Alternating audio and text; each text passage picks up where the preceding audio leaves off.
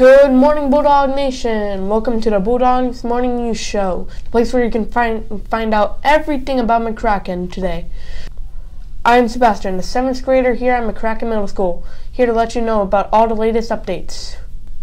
But first, here's my co-host Amelia to lead us into the morning pledge and a moment of silence.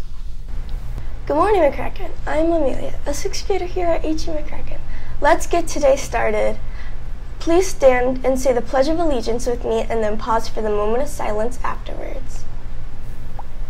I pledge of allegiance to the flag of the United States of America and to the republic for which it stands, one nation, under God, indivisible, with liberty and justice for all.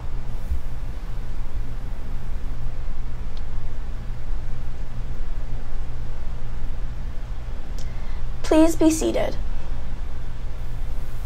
Students, if you have Mr. Seidner or Miss Morris for art last semester and you would like to keep some of your wonderful artwork that you made during the first semester, please stop by their rooms this week. So you've got Wednesday, Thursday, and Friday to stop by their rooms and pick up your artwork from last semester.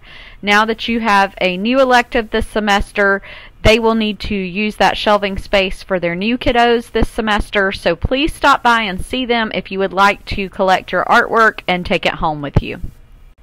Students, you will notice that in semester two, our bell times have shifted.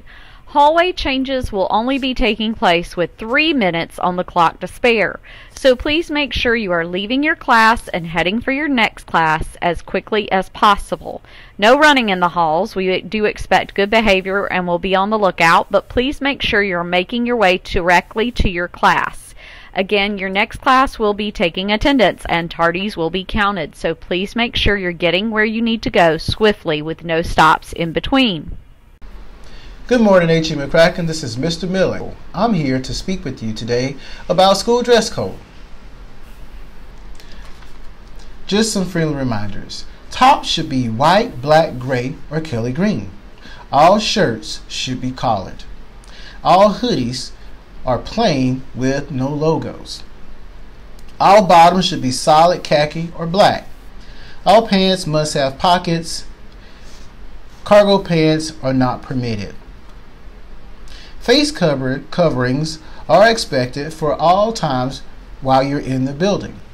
And at this time, we do not have to wear them outside. All shoes, footwear should be closed toe.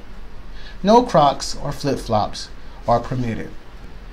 Teachers, thank you for your hard work uh, with our students. From 8.15 8.45, when you have time, please do a sweep of your class about dress code and remind your students of our protocols. Thank you, and remember to do whatever it takes.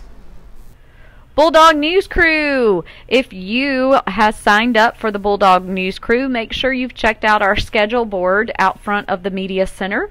The new schedule is posted for January and February. If you are interested in joining the Bulldog News Crew, then you will need to stop by the Media Center and fill out a form and take it home and get it signed and returned. First period teachers, please make sure you're sending in those lunch counts this morning.